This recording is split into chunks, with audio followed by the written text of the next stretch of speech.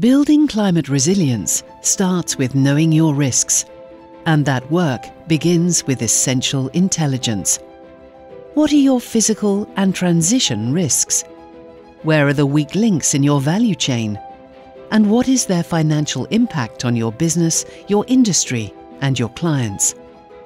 Get answers to these questions with sophisticated modelling, geospatial data, vulnerability pathways, and more. We help you understand your climate related exposure so you can take the next step on your sustainability journey. Because a sustainable tomorrow starts with essential intelligence today.